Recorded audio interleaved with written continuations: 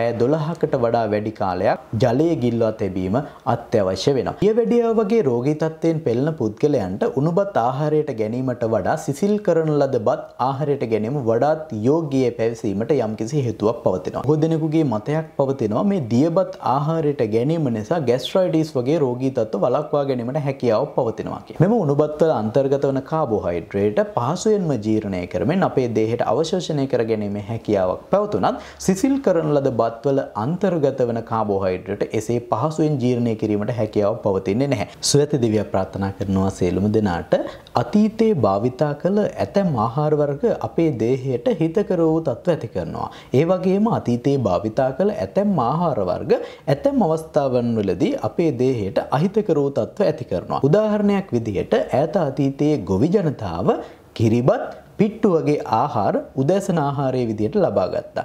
එයින් ඔවුන් බලාපොරොත්තු වුණේ ඊටමත් අධික වශයෙන් කැලරි ප්‍රමාණයක් ලබා ගනිමින් දවස පුරා ඔවුන්ගේ ශක්තිය අවශ්‍යතාවය සපුරා ගන්න. නමුත් වර්තමානයේ වන විට එය හාත්පසින්ම වෙනස් වී තිබෙනවා. වර්තමානයේ වන විට බොහෝ දෙනෙක් ගොවිතැන් කිරීමෙන් ඈත් වී කාර්යාලයක් තුළ තමන්ගේ සේවය සැපයීමට නැඹුරු වෙලා තිබෙනවා. එම නිසා වර්තමානයේ ජීවත් වෙන මිනිසුන්ගේ ශක්ති වැයවීම තරමක් අතීතයට වඩා අඩු වී පවතින බව හඳුනා ගන්නට තිබෙනවා. ඉතින් අපි අතීතයේ ගොවි ජනතාව භාවිතා කළ ආහාර රටාවම වර්තමානයේදීත් භාවිතා කළොත් අපේ දේහය රෝගී තත්ත්වයට පත් වෙන්නට මෙන්න මේ අධික වශයෙන් කැලරි ලබා ගැනීම හේතුවක් වෙන්නට පුළුවන්. ඉතින් ඈත අතීතයේ සිටම ශ්‍රී ලාංකික ජනතාව Tamanගේ ආහාරයක් ලෙස ලබාගත් ආහාර වර්ගයක් තමයි මේ දියබත් එහෙම නැත්නම් fermented rice කියලා කියන්නේ. ඉතින් මේ ආහාරය අපේ දේහයට බලපෑම් ඇති කරන්නේ කොහොමද? ඒ අපේ දේහයට අහිතකර වූ බලපෑම් ඇති කරනවාද? හිතකර වූ බලපෑම් ඇති කරනවාද? ඒ භාවිතා කළ යුත්තේ කුමන ආකාරයටද කියන එක පිළිබඳව තමයි අද දිනේදී අපි නියුට්‍රෙන් පොතුලින් සාකච්ඡා කරන්නට බලාපොරොත්තු වෙන්නේ. රැඳී සිටින්න නියුට්‍රෙන් පොත් සමගින්.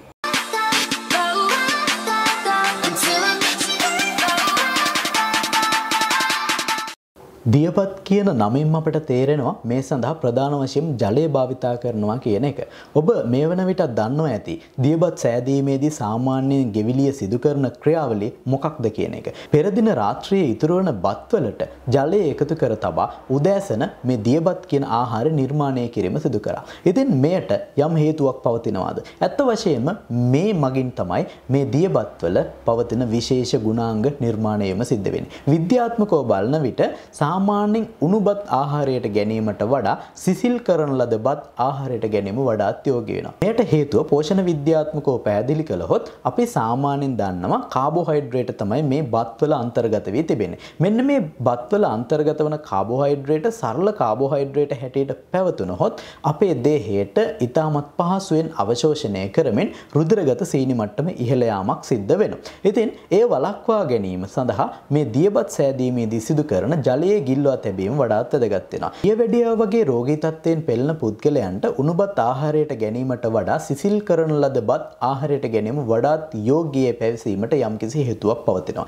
ඉතින් ඒට හේතුව තමයි අපි දන්නවා බත්වල ප්‍රධාන වශයෙන්ම අන්තර්ගත වෙන්නේ කාබෝහයිඩ්‍රේට. මෙම උණුබත්වල අන්තර්ගත වන කාබෝහයිඩ්‍රේට පහසුවෙන්ම ජීර්ණය කරමින් අපේ දේහයට අවශෝෂණය කර ගැනීමේ හැකියාවක් පැවතුනත් සිසිල් කරන ලද බත්වල අන්තර්ගත වන කාබෝහයිඩ්‍රේට එසේ පහසුවෙන් ජීර්ණය කිරීමට හැකියාව පවතින්නේ නැහැ.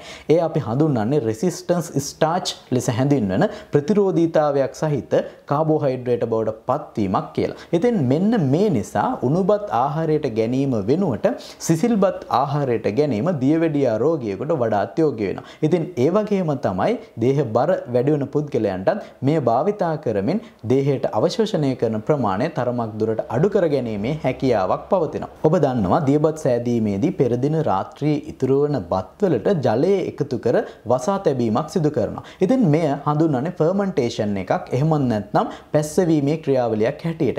එහිදී සිදුවන්නේ කුමක්ද කියා අපි බැලුවොත් මෙය තුළ අපේ දේහයට වඩාත් හිතකරු තත්ත්ව ඇති කරන ලැක්ටික් ඇසිඩ් බැක්ටීරියා වර්ධනය වීමක් සිද්ධ වෙනවා. ඉතින් මේ බැක්ටීරියා වර්ධනයත් ඒවායේ සිදු කරන ජීර්ණ ක්‍රියාවලියත් හේතුවෙන් අපේ දේහයට ඉතාමත් මහගු කාර්යභාරයක් සිදු වෙනවා. මෙම පැස්සවීමේ ක්‍රියාවලියේදී මේ බත් තුළ නිර්මාණය වන බැක්ටීරියා හැකියාවන් ප්‍රෝබයටික්ස් හැටියට ක්‍රියාත්මක වෙමින් අපේ ආහාර මාර්ග පද්ධතියේ ක්‍රියාකාරීත්වයන් වඩාත් යෝග්‍ය තත්ත්වයට පත් කිරීමට හැකියාවක් ලබා දෙනවා. ඉතින් ඒ වගේම තමයි මෙහිදී සිදුවන්නා වූ ඇතැම් ජීර්ණ ක්‍රියාවලින් හේතුවෙන් මේවායේ අන්තර්ගත වන පෝෂ පදාර්ථ අපේ ශරීරයට අවශෝෂණය වීමට ඉතාමත් පහසු තත්ත්වයට පත් කරනවා. මෙයා අපි බයෝ ඇවේලබිලිටි එක වැඩි කරනවා කියලා තමයි හඳුන්වන්නේ. උදාහරණයක් විදිහට සාකච්ඡා කරනවා නම් බත්වල අන්තර්ගත වන යකඩ අවශෝෂණය කිරීමේ හැකියාව 125කින් පමණ වැඩි කිරීමේ හැකියාවක් මේ පර්මන්ටේෂන් කියන ක්‍රියාවලිය එහෙම නැත්නම් පැස්සවීමේ ක්‍රියාවලිය හරහා ලැබෙනවා. ඒ වගේම බත්වල අන්තර්ගත වන කැල්සියම්, පොටෑසියම්, සෝඩියම්,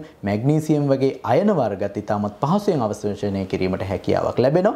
ඒ වගේම මේවායේ අන්තර්ගත වන විටමින් B12 වගේ විටමින් වර්ග ඉතාමත් පහසුවෙන් දේහයට අවශෝෂණය කිරීමේ හැකියාව ලබා දෙමින් බයෝ ඇවේලබිලිටි එක වැඩිවීමක් සිද්ධ වෙනවා. ඒ වගේම බොහෝ දෙනෙකුගේ මතයක් පවතිනවා මේ දියබත් ආහාරයට ගැනීම නිසා ගැස්ට්‍රයිටිස් වගේ රෝගී තත්ත්ව වළක්වා ගැනීමට හැකියාවක් පවතිනවා කියලා. ඉතින් අපි මෙහි පවතින විද්‍යාත්මක පදනම කුමක්ද කියා බැලුවොත් මේ දියබත් සෑදීමේදී ඇතැම් අය දෙහි භාවිතා කරනවා. ඇතැම් අය මේ සඳහා සියඹලා භාවිතා කරනවා. ඒ වගේම ලූණු භාවිතා කරනවා.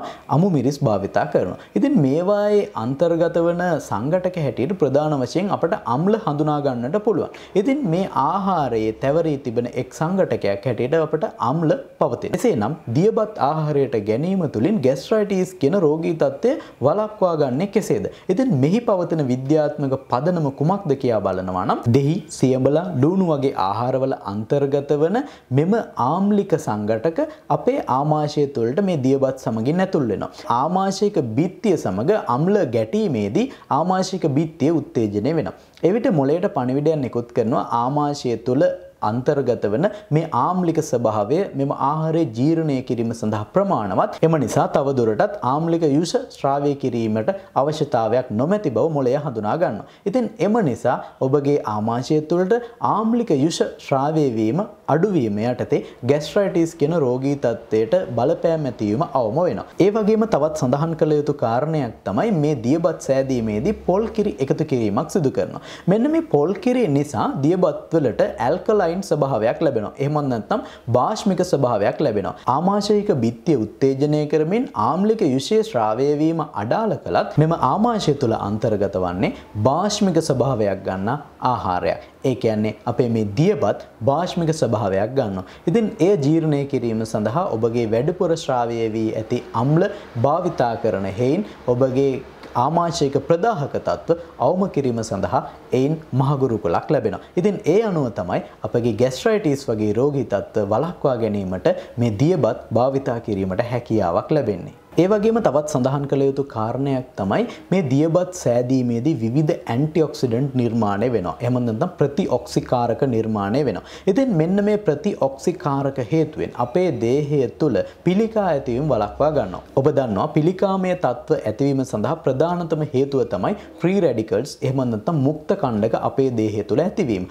මෙන්න මේ මුක්ත කණ්ඩක ස්කැවෙන්ජින් ඉෆෙක්ට් එකක් එහෙම නැත්නම් මුක්ත කණ්ඩක ඉවත් කර දැමීමේ හැකියාවක් මේ ඇන්ටිඔක්සිඩන්ට් වලට පවතිනවා ප්‍රතිඔක්සිකාරක වලට පවතිනවා. ඉතින් ප්‍රතිඔක්සිකාරක බහුල වශයෙන්ම අන්තර්ගත වන ආහාරයක් හැටියට දියබත් හඳුන්වා දෙන්නට පුළුවන්. ඒ වගේම ඔබ අසා ඇති මෙමගින් කොලෙස්ටරෝල් මට්ටම අඩු කිරීමේ හැකියාවක් තිබෙනවා. ඒට ප්‍රධාන වශයෙන්ම බලපාන්නේ මෙම දියබත් වල අන්තර්ගත වන ෆයිබර්ස් එහෙම නැත්නම් කෙඳි සහිත ස්වභාවය. මෙහි හිතකර වූ ෆයිබර්ස් අන්තර්ගත වීම නිසා ප්‍රධාන වශයෙන්ම අපේ දේහය තුළ HDL කොලෙස්ටරෝල් ප්‍රමාණය වැඩි කරමින් LDL කියන බෑඩ් කොලෙස්ටරෝල් ප්‍රමාණය අඩු කිරීමේ හැකියාවක් ලැබෙනවා. ඉතින් ඒ අනුව අපේ heart health එකට පවා මේ ඊටමත් වැදගත් ආහාරයක් ලෙස සඳහන් කරන්නට පුළුවන්. ඒ වගේම මෙහි අන්තර්ගත වන ෆයිබර් ප්‍රමාණය තරමක් වැඩි වෙන නිසා කන්ස්ටිපේෂන් ලෙස හඳුන්වන රෝගී තත්ත්වය එහෙමත් නැත්නම් මලබද්ධය ලෙස හඳුන්වන රෝගී තත්ත්වය පවා අවම කර ගැනීමේ හැකියාවක් පවතිනවා. ඒ වගේම ඔබ ආසා ඇති මේ දියබත් ආහාරයට ගැනීම නිසා ඔබගේ ආහාර මාර්ගයේ ආශ්‍රිතව ඇතිවන්නා වූ රෝගී තත්ත්ව වළක්වා ගැනීමට හැකියාවක් ලැබෙනවා කියලා. ඉතින් මෙහි පවතින සත්‍යතාවය කුමක්ද කියා බලනවා නම් අපි දන්නවා මේ දියබත් සමග අපි ආහාරයට ගන්නේ පොල් කිරි. සාමාන්‍යයෙන් පොල් කිරිවල ඇන්ටිබැක්ටීරියල් ප්‍රොපර්ටීස්, ඇන්ටිෆංගල් ප්‍රොපර්ටීස් ඒ වගේම ඇන්ටිවයිරල් ප්‍රොපර්ටිස් හඳුනා ගැනීමට තිබෙනවා. ඉතින් එම නිසා ආහාර මාර්ගය තුළ අන්තර්ගත වන බැක්ටීරියා වෛරස සහ දිලීර විනාශ කර දබමින් ආහාර මාර්ගය ආශ්‍රිත විවිධ රෝගී තත්ත්වයන් නැතිවීම වළක්වා ගැනීමට දායකත්වයක් මේ දියබත් වලින් ලබා ගැනීමට හැකියාවක් පවතිනවා. ඒ වගේම බහුල වශයෙන්ම විටමින් B12 වගේ විටමින් වර්ග මෙහි අන්තර්ගත වීම නිසා අලස ගතියක් ඇතිවීම ඔබගේ විවිධ ඌනතා රෝග ඇතිවීම වළක්වා ගැනීමේ හැකියාවක් මේ දියබත් ආහාරයට ගැනීම නිසා ඔබට ලබා ගන්නට පුළුවන් වෙනවා. විශේෂයෙන් මතක් කරන්නට ඕනේ මම පෙර සඳහන් කළ රෙසිස්ටන්ස් ස්ටාර්ච් නිර්මාණය වීමේ ක්‍රියාවලිය එහෙමත් නැත්නම් අපේ දේහය තුළ එකවර ජීර්ණය වෙමින් රුධිරයට ග්ලූකෝස් අවශෝෂණය කිරීම අවම කර ගැනීමේ තත්ත්වයක් ඇති කර ගන්නට නම් ඔබ පැය 12කට වඩා වැඩි කාලයක් මේ බත් ජලයේ ගිල්වා තැබීම අත්‍යවශ්‍ය වෙනවා. ඉතින් එමගින් අපි සිදු කරන්නේ රෙසිස්ටන්ට් ස්ටාර්ච් නිර්මාණය කිරීම. ඉතින් ඒ සඳහා ඔබ උණු බත් ජලයට එකතු කර සිසිල් කිරීමක් අත්‍යවශ්‍ය වෙනවා. ඔබට මේ දියබත් සාදා ගැනීමට හැකියාවක් නොමැති නම් සහ ඔබ දියවැඩියා රෝගයෙන් පෙළෙන පුද්ගලයෙක් නම් ඔබට පුළුවන් ඔබ ආහාරයට ගැනීමට පෙර ඔබගේ බත් ශීතකරණය තබා සිසිල් කරන්නට. එවිට ඔබගේ රුධිරගත සීනි මට්ටම එකවර වැඩිවීම අවම කර ගැනීමට හැකියාවක් ලැබෙනවා. ඉතින් ඒ වගේම තවත් දෙයක් මෙහිදී මතක් කරන්නට ඕනේ මේ දියබත්වල තරමක් වැඩිපුර කැලරි අන්තර්ගත වී තිබෙනවා. ඉතින් වැඩිපුර කැලරි අන්තර්ගතව පවතින ආහාරයක් ගෙන අපි එම ශක්තිය දහනය නොකර සිටීමෙන් අපේ දේහයේ ස්ථූලභාවය වැඩි වෙනවා. ඉතින් වැඩිපුර ශක්තිය අපේ දේහයට ලබා ගැනීමෙන් එම ශක්තිය හානි කරන්නේ නැත්නම් අපේ දේහය තුළ එම ශක්තිය මේ දේ හැටියට තැන්පත් වෙනවා. ඉතින් එමගින් බොහෝ දෙනෙක් රෝගී තත්ත්වයට පත්වීමේ නැඹුරුතාවයක් ඇති වෙනවා. ඉතින් ඔබ මේ දියබත් ආහාරයට ගන්නේ නම් ඔබ අනිවාර්යයෙන්ම කළ යුතු දෙයක් තමයි ඔබ දිනකට ලබා ගන්න අනිකුත් ආහාර වර්ග